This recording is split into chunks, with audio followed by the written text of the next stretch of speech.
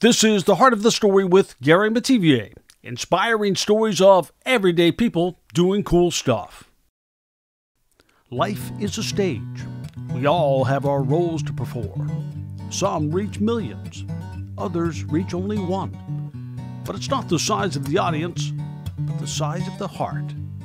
One little girl is about to see her dream come true to meet her hero and maybe become his. The stage is set as we take you to the heart of her story.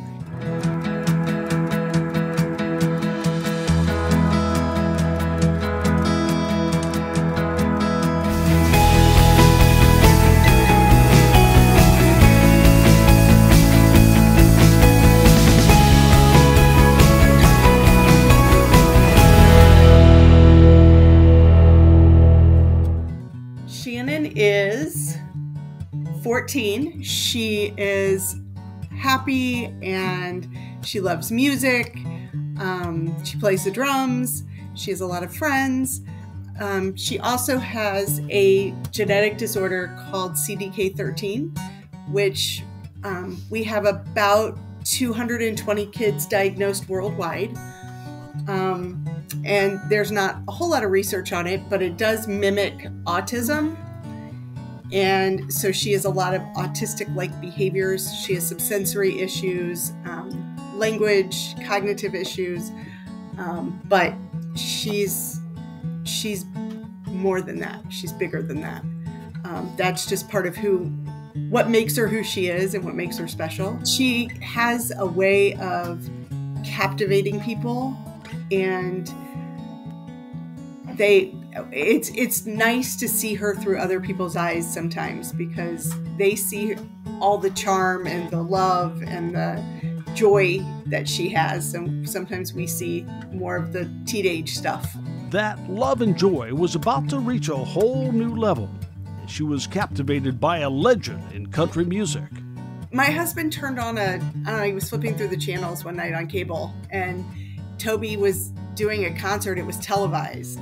And she had never heard him before. And all of a sudden her head popped up and she sat mesmerized. Um, and then she started looking for him on her iPad and on her phone and listening to his songs. And the next thing we knew, she was going to school singing Red Solo Cup. And it was it was just almost love at first sight for her.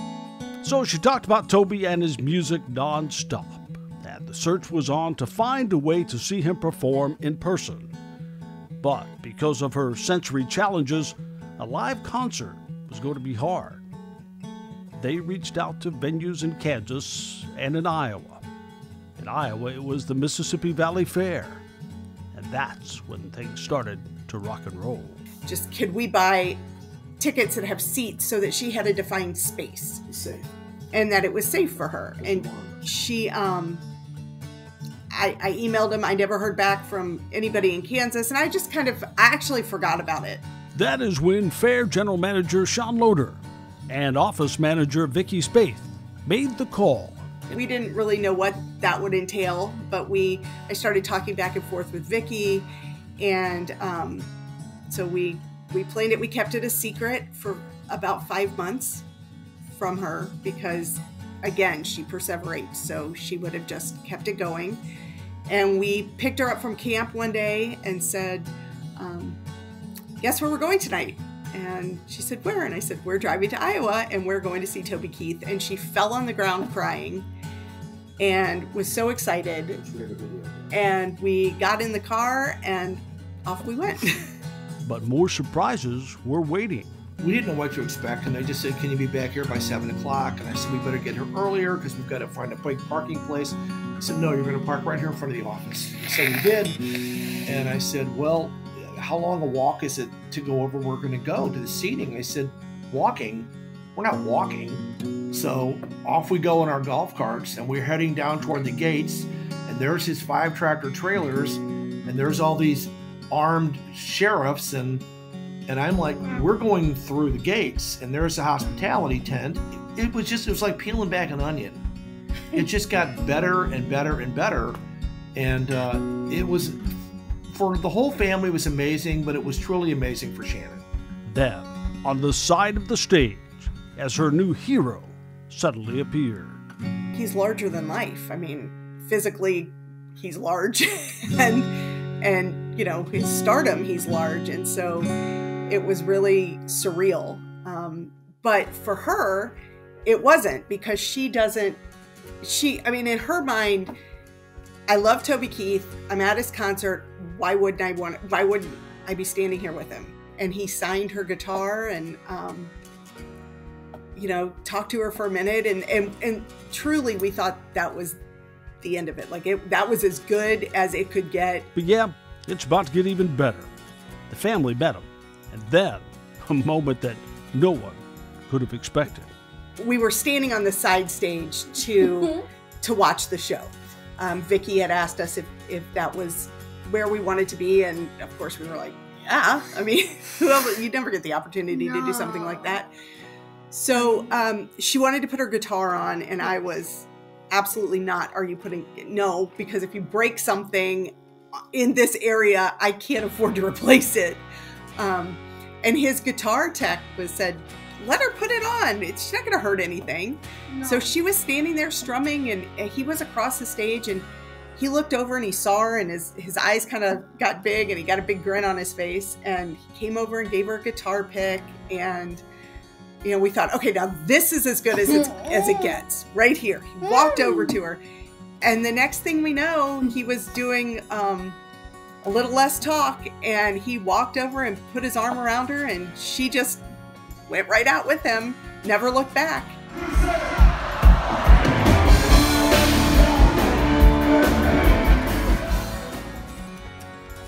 it was breathtaking.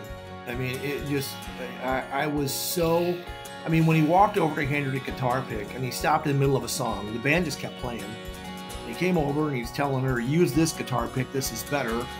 And he walked back and I thought, well, it can't get better than that. But then when he walked back and he put his arm around her, and he looked at Amy and he basically said, let's go, darling. And off they went. And no one could believe it. No one around us could believe it. On her own riser, she could perform right along with him. I don't. I didn't. I really didn't know what to do. I just stood there in, in total amazement, and her younger, her older sister was holding on to me, just crying her eyes out, so happy for her.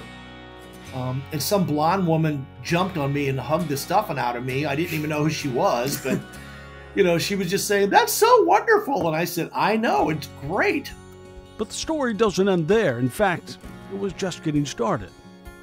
Reality was waiting as they got back home. More trips to the Children's Hospital, brain and spine MRIs. But this time she would not be facing them alone.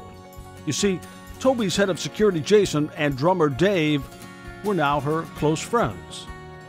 Jason knew that the MRI had her scared, so even though he couldn't be there in person, he stayed with her on FaceTime. I finally I said to Jason, it had been about 15 minutes, and I said, you know, you have a family at home, you have other things to do. We will find another way to um, to distract her. And he said, absolutely not. I'm here until the end. And he stayed on the phone with her. It was about it was about an hour Yeah. um, until they got that IV in, and then he checked in on her that evening to make sure she was okay. And was, you know, I want tell me the results as soon as you get them. Acts of kindness from strangers that are now lifelong friends. Is he your best friend because he likes you and talks to you and is interested in you Yes. And cares about and you. cares about you? She loves them, so they love her back, and they they allow her to to love them, and it takes a special person to, you know, to let someone into your life that they don't know us. Yeah. Well, Jason never gets off with her without saying "I love you" Yeah. in his big Alabama voice. So now, with Toby facing medical issues of his own, they are here to give him some love, hope, and prayers. For the man who was once a musician on stage with his band, who are now all so much more. Hi, we're the O'Grady's. And we wanted to sit down this evening and take a minute to talk about someone that has made a very, very big difference in our family in the last four years. And I'm talking about Toby Keith. I'm not talking about Toby as a musician that we're big fans of. We are. I'm talking about a man who's made a huge difference in our lives, who's been such a great influence on our daughter and, and us. Someone who is so kind and does so much for other people. And I don't know if he understands how much he's appreciated. And it's not just Toby, it's it's his band members and his his people. And we care so much for all of them and consider them friends. So we'd like to let him know we want him to do the best he can, fight the good fight. We know he's going to come through this. And as they say in Ireland, to have God hold him in the palm of his hand. Get well, Toby. We hope it,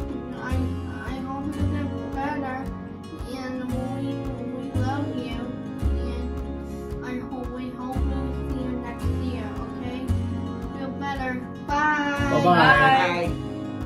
If you like inspiring stories just like this, check out our YouTube channel, Gary Metivier, for more, and the Heart of the Story with Gary Metivier podcast. Shout out to the family of companies supporting our stories Peterson Plumbing and Heating, QCA Pools and Spas, and the Mississippi Valley Fairgrounds. Much more than just a fair.